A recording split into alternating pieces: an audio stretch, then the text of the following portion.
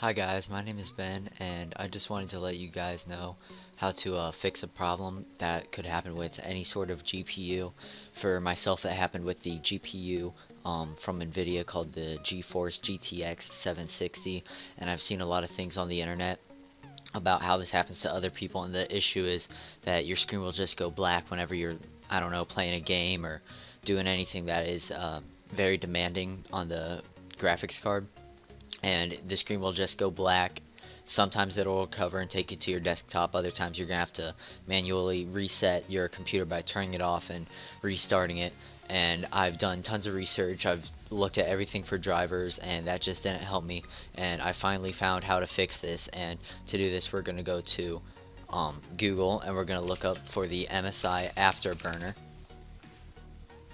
And it's this one right up here gaming.msi.com and from here you're going to scroll down a little bit go to downloads. You're going to download the MSI Afterburner. And then once you get that and install that you're going to get this right here. And allow it to make changes to your PC and this just is a hardware monitor off here to the right which can be really helpful for seeing what's going on with everything in your computer. It shows you the CPU and the GPU but what we really want to do here is change the core voltage core voltage will probably be at minimum anyway but you're gonna take the power limit I don't know maybe it's up here you're gonna slide it all the way down. Same thing with the core clock and the memory clock. The fan speed you want to have it up a little bit but not too much and to change this for yourself you're just gonna have to press on the auto and then you can change it yourself.